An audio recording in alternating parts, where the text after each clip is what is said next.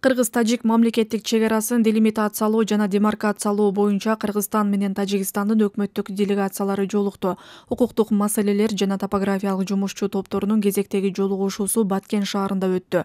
Анын алкагында тараптар кыргыз тажик мамлекеттик чек ара сызыгынын калган тилкелерде өтүшүн сыпаттоо боюнча сунуштарды талкуулады. Бул маселе боюнча тажикстандын аймагында өтө турган кийинки жолугушууда дагы талкууланат.